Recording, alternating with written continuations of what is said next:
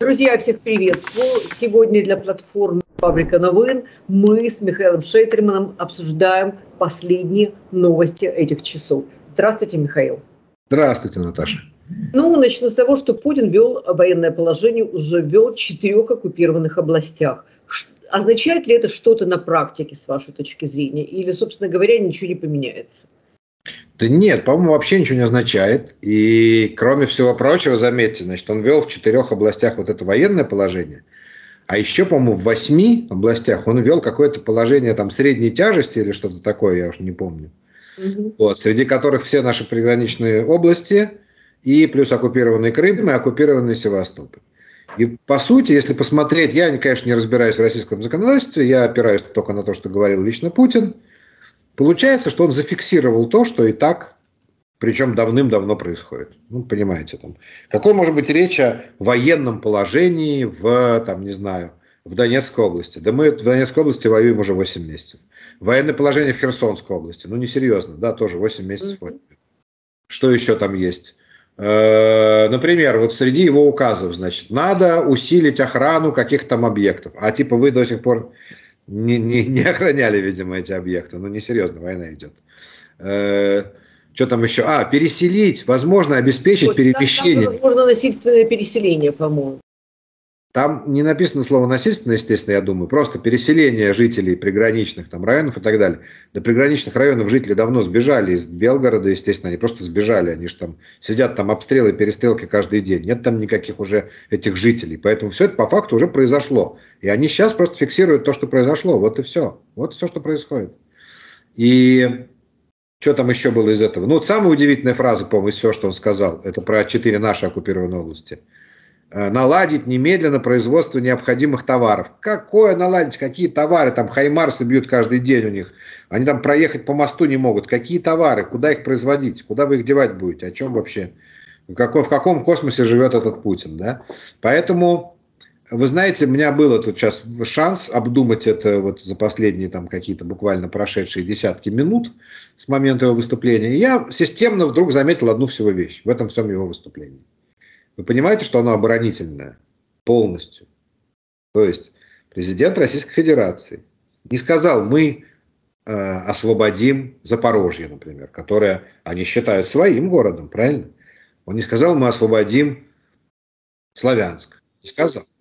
Он сказал, мы, э, что мы там сделаем? Мы э, не дадим, грубо говоря, захватить вот это. Или там, понимаете, да, это была чисто оборонительная речь, речь оборонца, который рассказывал о том, как он будет вести оборонительные действия, а не наступательные.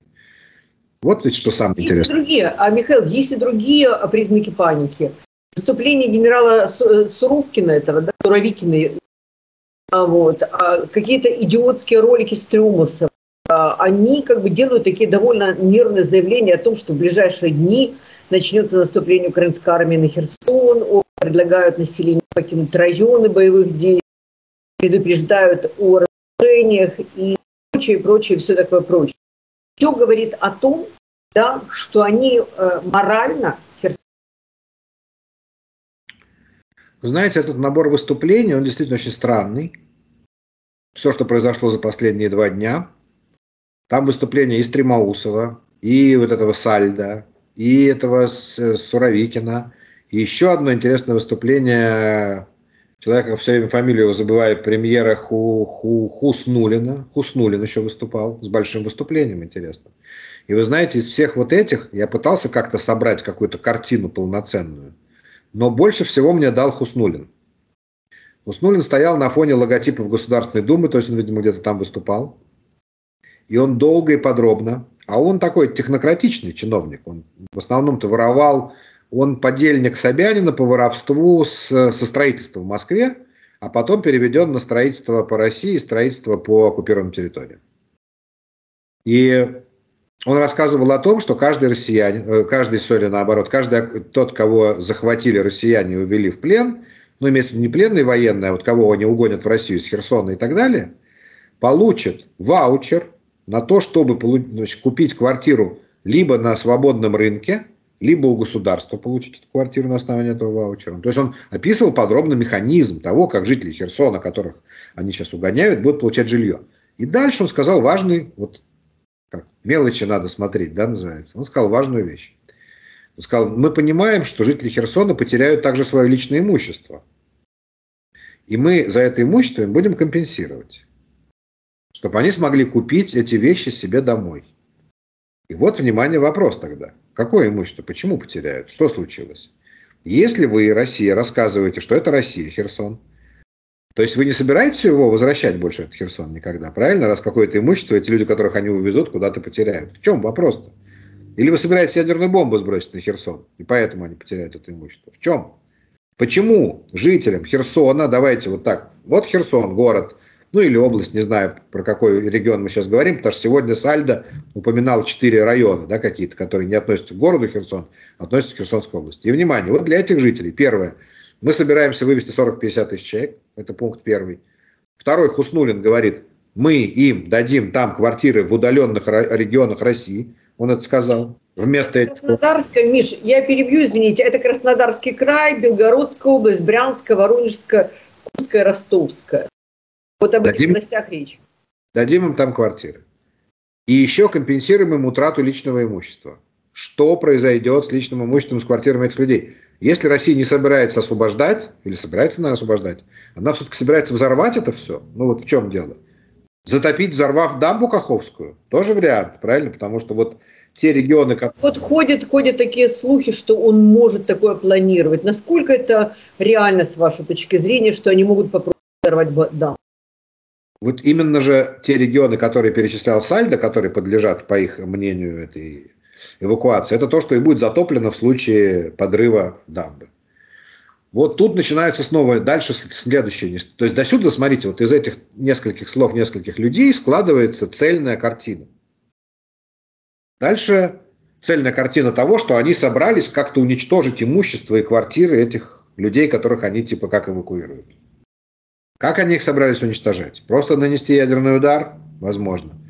Дальше вариант с этой дамбой. А как они собираются его уничтожать и зачем? Это большой вопрос. Потому что если уничтожить эту дамбу, то первое, что произойдет, вот первое, что произойдет, это Крым лишится водоснабжения.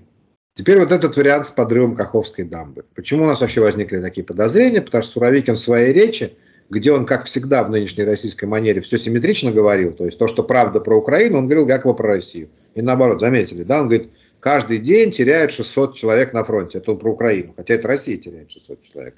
Ну и так буквально по каждой позиции, если вы посмотрите, все абсолютно симметрично. Но вот он говорит, Украина собирается взрывать Каховскую дамбу и применять запрещенные виды вооружений. Помните? Если все это отнести к Российской Федерации, Российская Федерация собирается взрывать Каховскую дамбу. Окей, тогда объясняется, зачем им эвакуация. Тогда объясняется, почему какие-то ваучеры на квартиры, почему утратят личное имущество, если взрывать Каховскую дамбу действительно. Но зачем ее взрывать? У меня просто для меня загадка. Ведь это смоет российские войска, в частности. Это затопит Херсон, ну, отчасти на какое-то ну, достаточно сильно.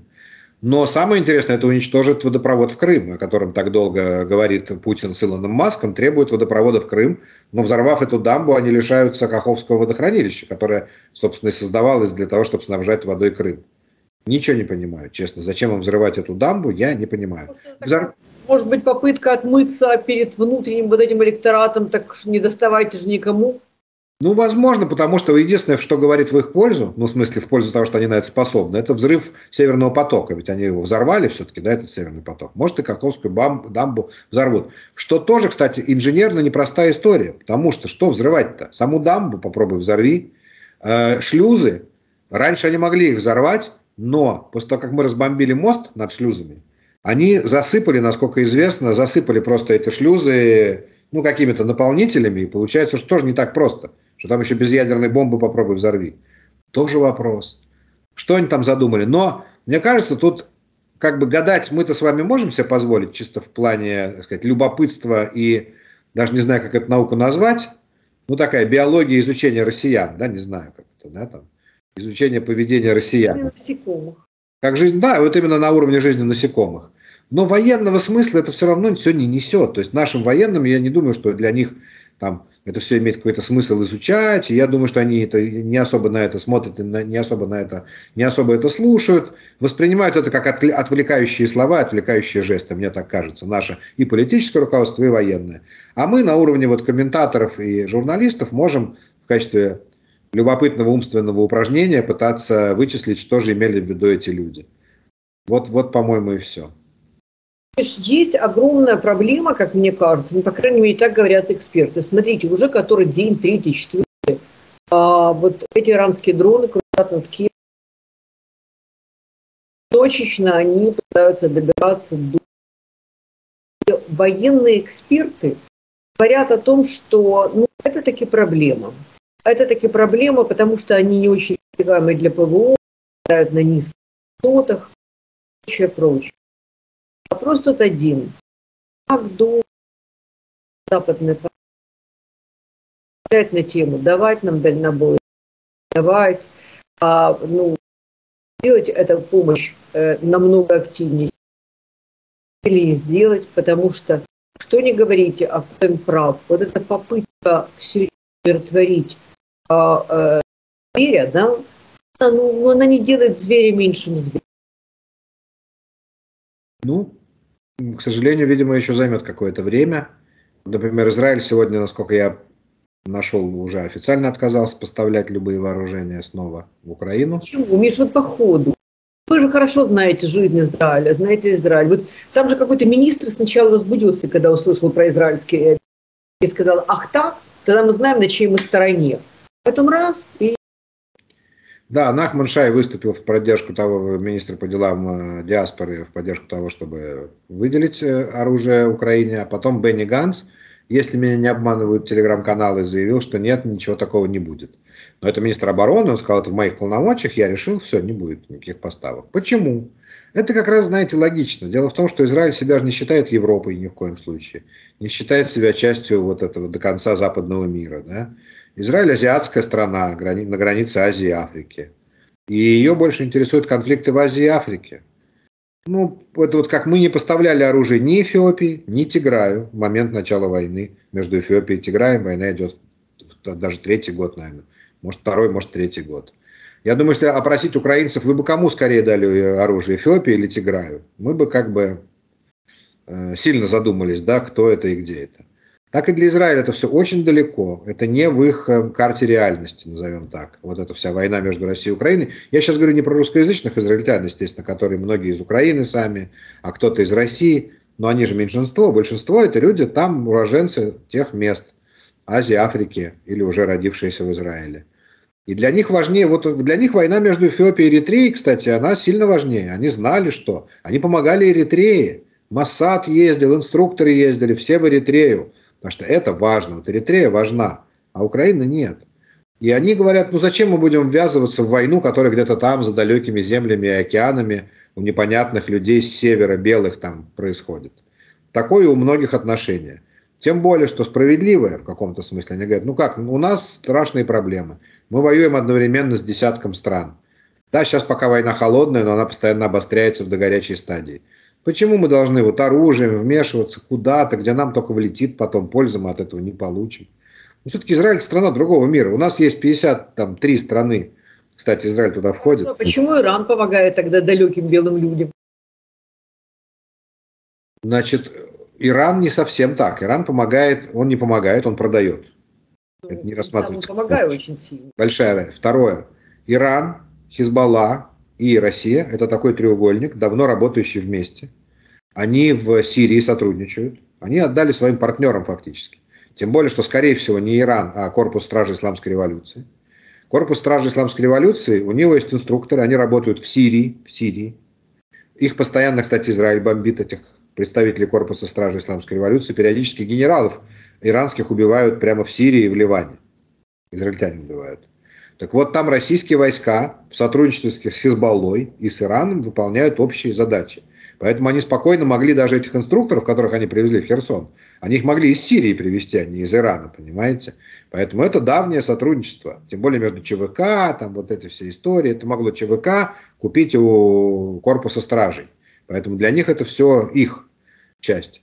А для Израиля далеко. Ну давайте, зачем мы должны полагаться на Израиль, который такой маленький совсем, который меньше, чем Крым, понимаете? Израиль меньше, чем Крым. Да, конечно, основное это Соединенные Штаты Америки, чтобы мы не говорили. И Европа, нет, и Европа, Евросоюз по, по масштабам это тоже как еще одни Соединенные Штаты Америки. Ну хорошо, по военным может быть меньше, но сумма армий там европейских тоже большая сила. И у нас есть вот раз союзник, два союзник, и еще в Азии у нас есть Япония с Кореей, между прочим, и еще у нас есть Австралия, и все эти люди нам помогают реально. И вот встал вопрос, иранские дроны – я думаю, что решение военное будет найдено достаточно быстро. Почему-то я вот в данной ситуации, знаете, верю в Залужного, верю в ВСУ. В каком смысле? Вот это же в чем проблема? Это когда-то вся, вся ПВО так и выглядела. Зенитные пушки. Бум-бум-бум, стреляют. Они стреляют, раздаются взрывы такие в воздухе, да, и самолеты летают между этими взрывами. Попало случайно, попало. Никто даже не целился особо. Просто стреляем в небо. Вот. Просто давно не было таких самолетов. Это же самолеты медленные, винтовые, нереактивные. Самолеты, летающие на малых высотах, там, ну хорошо, несколько километров, и туда достают зенитные пушки. И все, что нам нужно, это ровно такие зенитные пушки. Сейчас нам нужно их достать со складов, если они у нас есть. Если их нет у нас, они есть в ГДР, они есть в какой-нибудь Польше, Чехии и так далее, это зенитные пушки. И наши их поставят, и я уверен, что эта система обороны именно от э, дронов, она будет она будет быстро и эффективно построена. Ну да, займет какое-то время. Гораздо опаснее ракеты, которые Иран собрался поставлять. Вот это, вот это проблема.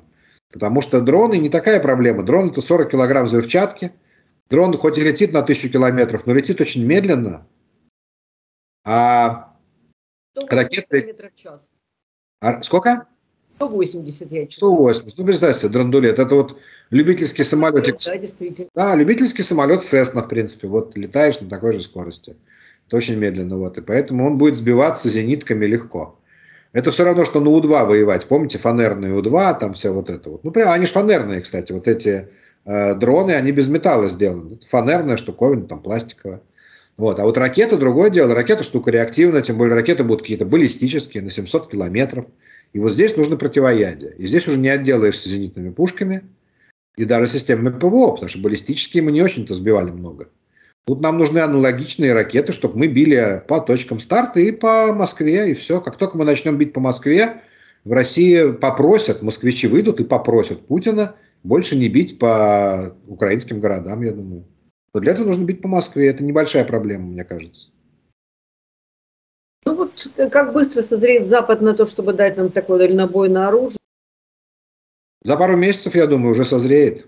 Либо за пару месяцев война закончится, что маловероятно, либо созреет, потому что, понимаете, со стороны России в любом случае идет, как сказать, отказ от любых правил. Вот тут же в чем вопрос, да?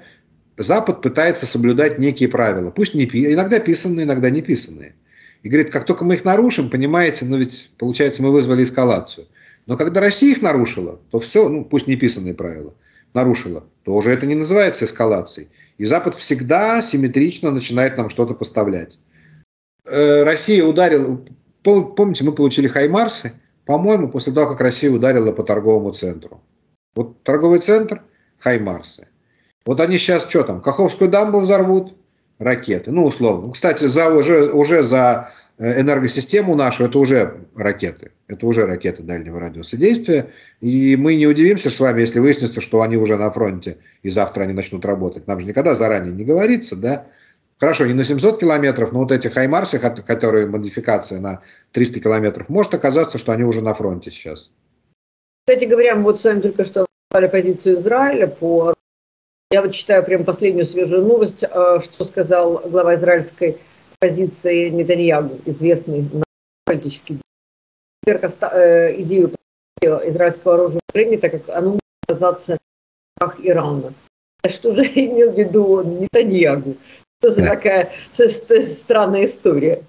Нет, Бенjamin Нетаньягу, он э, личный друг Путина в каком-то смысле. Ну, как друг, у Путина не бывает друзей. Но...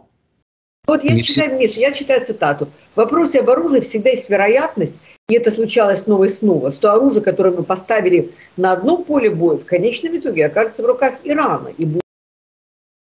У Нетаньягу есть определенная репутация в Израиле. И да, у него много сторонников, безусловно. но при этом репутация его – это человека, который врет всегда. Вот как у Путина, например, репутация. Он, конечно, вообще даже не Путин, потому что он демократический лидер, демократически избиравшийся много раз, много раз, имеющий шансы избраться в премьер-министра буквально через две недели. И человек, который сделал для Израиля, ну просто там, входит, безусловно, вот как у нас Зеленский занял второе место среди самых великих украинцев, то, безусловно, Нетаньягу входит ну, в десятку самых великих израильтян, как бы там к нему не относились по раз, разные политические стороны, потому сколько он сделал для страны, находясь на посту и премьера, и других государственных постах. Тут не надо его ни в коем случае принижать, но у него есть такая манера жить, да, где он очень много врет, это как про него известно, э, за словом в карман не лезет.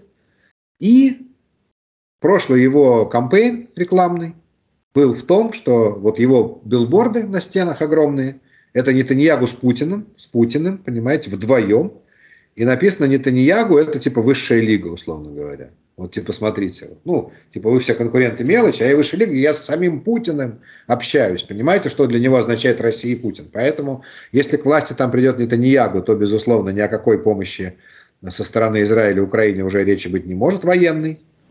Когда говорят, что он пророссийский, это абсолютная правда. Ну, не абсолютная, нет. Понимаете, Израиль не является пророссийской страной в целом. Поэтому там Венгрия может быть пророссийской. Израиль не может быть пророссийским, потому что он проамериканский. И Америка там всегда на первом месте в любом случае. Америка это как бы стратегическая ставка. Но дальше есть тактические ставки каждой из партий. Вот эта партия ориентируется там, на Россию, это на то, это на все. Он лично даже на Путина, даже не на Россию Нетаньягу, лично на Путина. Он считает, что он умеет... Он, кстати, правда очень хитрый человек, очень умный, образованный. И действительно, во многим, я думаю, во многих случаях он переигрывал Путина политически для Израиля, к выгоде Израиля. То есть это нельзя сказать, что он тут подчиняет. Это не Орбан, который ему присылают методичку из э, Кремля, и он ее зачитывает. Ни в коем случае так нельзя сравнивать. Нетаньягу это действительно другого веса совершенно и влияния человек. Но он будет ориентироваться, да, на Путина, не собирается с ним ссориться. Он считает, что это выгода Израиля в этом. Он извлекает для этого выгоду для Израиля. В последнее время в западных СМИ появилось очень много публикаций о том, что Запад должен определиться со своей новой стратегией на будущее. Не только по отношению к Украине, а в принципе. Потому что вся послевоенная стратегия, которая была нацелена фактически на умиротворение агрессора, на недопущение Третьей мировой войны, она сегодня не работает, потому что весь мир как бы разделился на два лагеря. Страны, у которых есть ядерное оружие, и страны, у которых нет ядерного оружия. Кто здесь, Михаил, может быть будущим третейским судьей? Пропал звук на самом вопросе. Что здесь, Михаил? Ужас. Михаил, кто здесь может быть третейским судьей? Ну какой же сейчас третейский судья-то в этом мире? Не получится, вы знаете, потому что нет сверхъядерного оружия. Одна из последних новостей сейчас, вот, которую я читаю, о том, что ракета э, российская прилетела в, в э, Ивано-Франковскую ТЭС, Бурштинскую, и э, там сейчас пожар. Его тушат, естественно. Но если они пойдут так дальше по ТЭС, как они идут там, например, последние пять дней, то, конечно, ну, в обычном ритме, как Запад принимает решения, это быть не должно, как мне кажется, потому что за месяц враг может много успеть. Возможно, сейчас нужно сделать какие-то шаги нетривиальные для того, чтобы а, ускорить весь процесс. Ну, какие у нас такие уж прям шаги? Если, если Россия захотела так себя вести, к сожалению, она будет так себя вести. Я, к сожалению, думаю, что нам надо с вами готовиться к тому, что зима действительно может быть трудной и сложной. Вместе с тем, есть надежда на то, что россияне сами обрушатся, вот эта сам, сама их система. Они системно не умеют работать, у них не получается. Ну просто вот, ну не получается, не работает, как ни крути. Угу. Все их, даже самые удачные планы, наталкиваясь на какую-нибудь очередную глупость, и все срывались. Вот сейчас они какими-то ракетами, чем-то попали. Чем они попали, откуда они стреляли. Вот что-нибудь сейчас с этим случится, я не знаю что. Что касается Запада, что он может сделать? Ну, давайте, ПВО это не поможет. Вот просто не поможет. Потому что ну, не бывает такого ПВО, которое остановит все ракеты. Не бывает такого ПВО, которое спасет все эти ТЭЦ на огромном теплоэлектростанции на такой огромной площади. Просто это не существует. Поэтому я верю только в ответные удары. Только в ответные удары. Э, только сделать им так больно, чтобы они перестали этим заниматься. Вот другого я просто не вижу решения. И да, для этого нужен Запад, чтобы он такое решение принял что, например, страшный удар, ну, окей, вы пока не готовы вступать в войну, это же не ядерный удар, да, Но предоставьте нам такие вооружения, чтобы вот, не знаю, блокаду Москвы устроить. Блокаду Москвы. Взорвать все мосты. Причем объявим, все мосты будут взорваны. До свидания, никакой железнодорогой больше поезда в Москву ходить не будут. Мы можем это обеспечить?